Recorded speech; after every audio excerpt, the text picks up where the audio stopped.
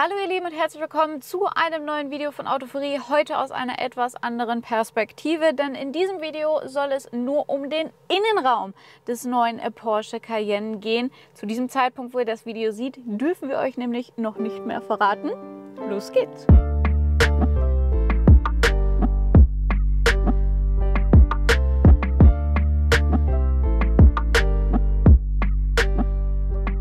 Und wenn man sich den neuen Porsche Cayenne von innen so anschaut, dann könnte man sich eigentlich denken, dass es eine komplett neue Generation ist. Aber tatsächlich handelt es sich weiterhin nur um eine Überarbeitung.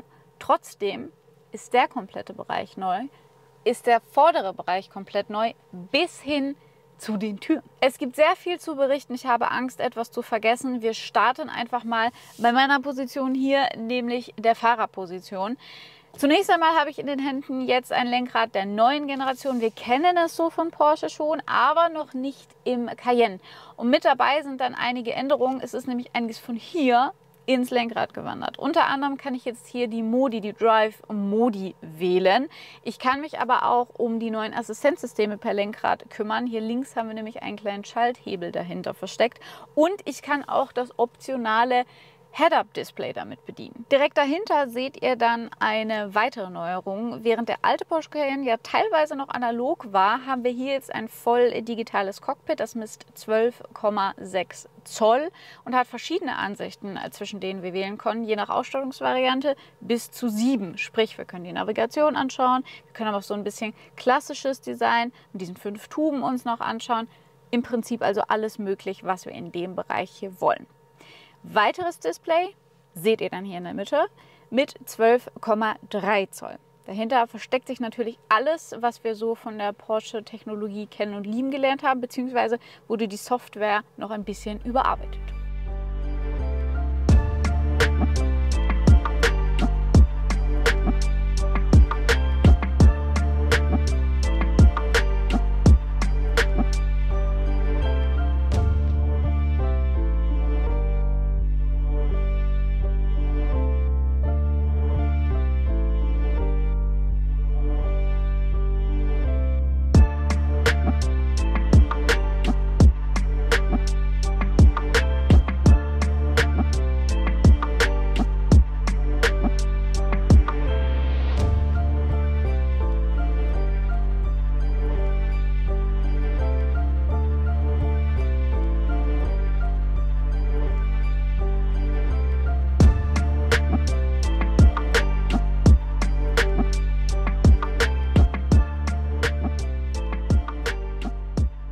Dabei natürlich auch Apple CarPlay, Android Auto und übrigens auch Spotify ist direkt mit an Bord.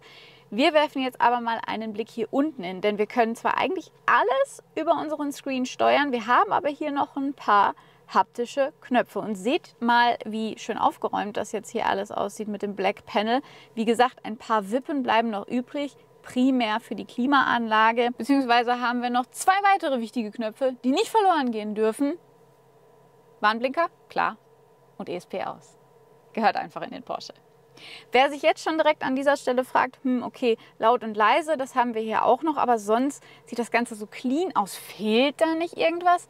Ja, vorhin habe ich schon erwähnt, Modi etc. pp. Aber richtig, Schalten. Der Schalthebel für die Automatik, der sitzt jetzt praktisch zwischen diesen beiden Bildschirmen und versteckt sich hier ganz diskret. Also hier haben wir jetzt noch eine cleanere Fläche. Was außerdem den deutlich cleaneren Charakter schafft, sind ja immer so Kleinigkeiten, die im ersten Moment gar nicht so auffallen. Die Luftauslässe haben jetzt nicht mehr diese einzelnen Streben bzw. Lamellen, sondern lediglich einen Steg und haben im Prinzip gar keine einzelnen Lamellen mehr. Zusätzlich wirkt das gerade besonders aufgeräumt, weil dieses kleine Fach hier geschlossen ist. Wenn wir das öffnen, sehen wir darunter übrigens die serienmäßige induktive Ladeschale mit 15 Watt.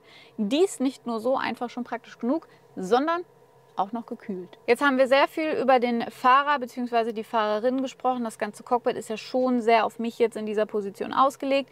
Aber ich habe eins äh, dabei noch nicht erwähnt, nämlich das Highlight für den Beifahrer oder die Beifahrerin. Wir haben hier nämlich nicht nur ein Screen, zwei Screens, sondern gleich drei. Und ich in meiner Fahrerin-Position gerade kann es tatsächlich nicht sehen. Es ist nicht nur super praktisch dementsprechend, sondern natürlich auch sicherheitsmäßig tippitoppi. Möglich macht das eine entsprechende Folie. Der Beifahrer kann jetzt also immer während der Fahrt streamen, die Navigation verfolgen, was immer er oder sie auch machen möchte. Ich muss hingegen auf den Stand warten. Dann kann ich nämlich hier meine Videos anschauen. Ansonsten nicht.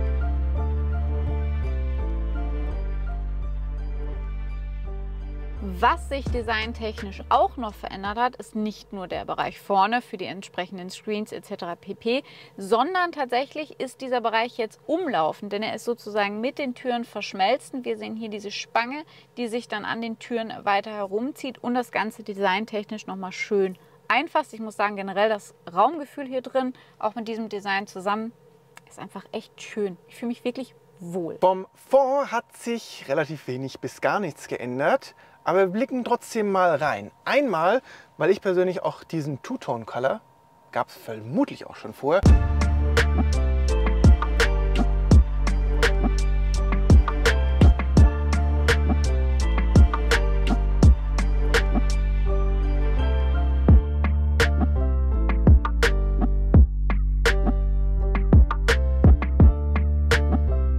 dass man weiß mit schwarz kombinieren kann, inklusive diesem Embossed Porsche Logo.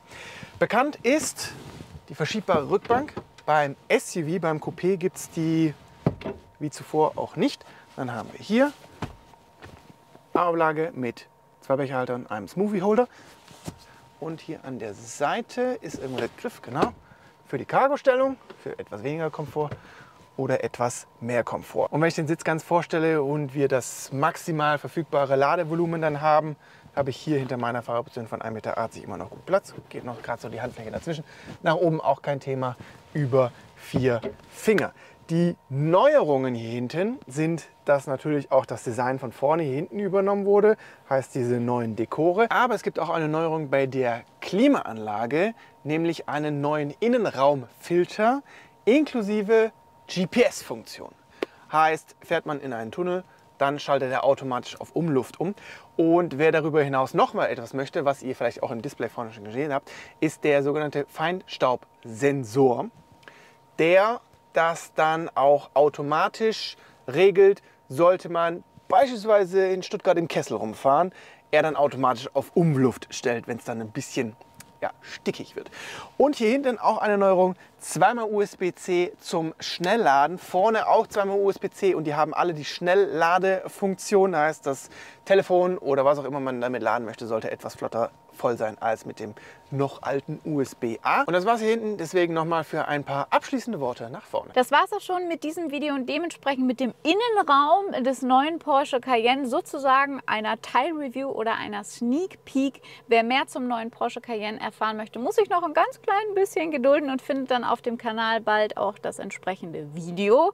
Wem dieses Video gefallen hat, dem würde ich ans Herz legen, jetzt einen Daumen nach oben zu geben, sowie ein Abo dazulassen und ihr könnt uns auch sehr gern auf Instagram folgen. Ich hoffe, dass wir uns ganz bald wiedersehen. Bis dahin passt bitte gut auf euch auf und bis zum nächsten Mal. Ciao! Der letzte Satz war ohne Sinn. Schneid's ihn einfach ab. Larissa, ich gebe zurück zu dir. Ja, genau. Ist gut? Ich soll mal den Kessel